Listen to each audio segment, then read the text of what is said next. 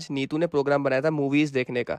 तो मूवी हम कौन सी देखने वाले थे? वो थी जो कि अभी अभी रिलीज़ हुई है, टाइगर थ्री। और यहाँ पर मैं पहुँच चुका था, नीतू से पूछ रहा था, वो कहाँ पर है? पुनीत मेरे साथ था, रोहित मेरे साथ था। और फाइनली हम लोग पीवीआर में पहुँचे, जहाँ पर नीतू हमारा ऑलरेडी वेट कर रही थी। मेरी हालत देखो, ऐसा लगेगा देख के कि मैं मोह माया से परे हो चुका हूँ। कोई टेंशन ही नहीं कि मैं कहाँ हूँ, कहाँ नहीं।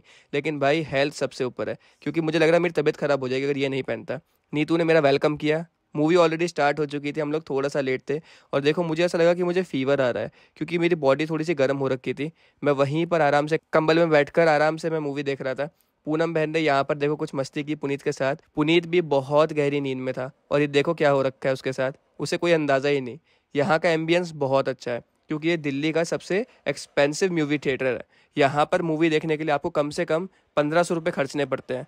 मूवी खत्म हो चुकी थी एंड में नीतू ने कहा, ऐसी थोड़ी सलमान खान फ़ैन है वो। तो मूवी के खत्म होने पर जो डांस आया, नीतू ने